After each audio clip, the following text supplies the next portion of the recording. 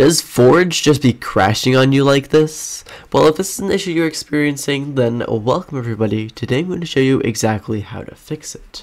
Um, so we got the error exit code 1, that's the one we want, that's what we're going to be discussing in this tutorial.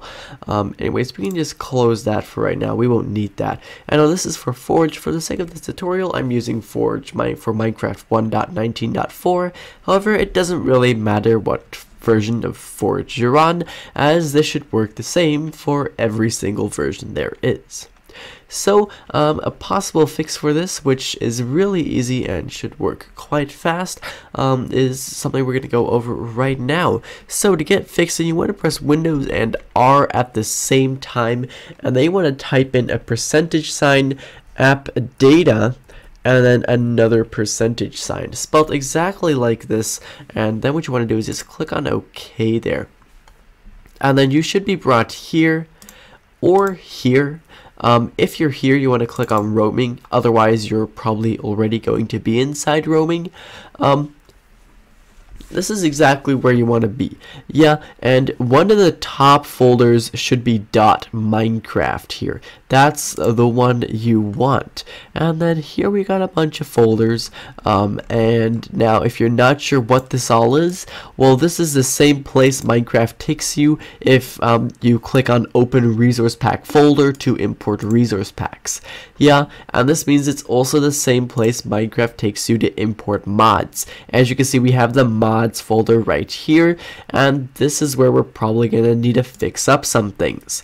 Yeah so we got the mods folder. Yeah and as you can see in here I've got some mods I've been using um, made some videos with these as well. Here we have a, Forge 1.19.2 mod and all of these are for 1.12.2 and simply put these are the reason that um, this uh, that that that this is crashing.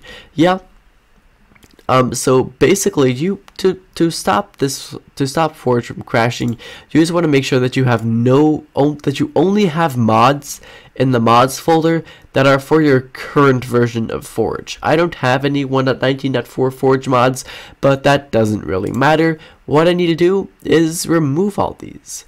Yeah, and I can just simply do that by probably creating a folder somewhere over on my desktop, um, or just dragging these all to my desktop anyways.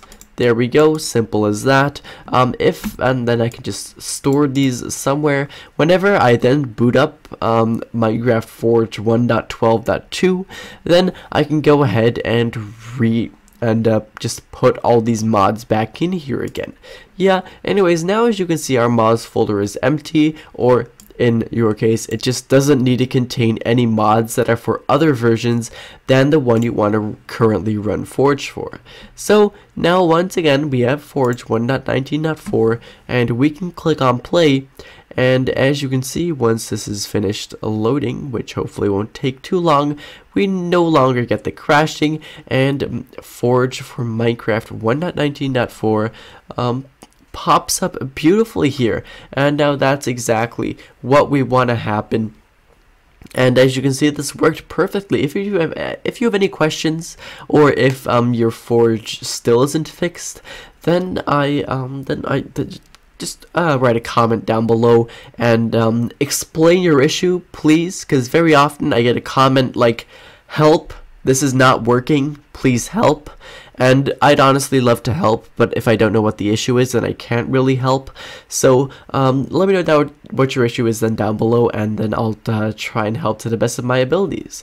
Anyways, guys, right now though, thank you ever so much for watching, and I hope to see you again in the next one. Bye-bye.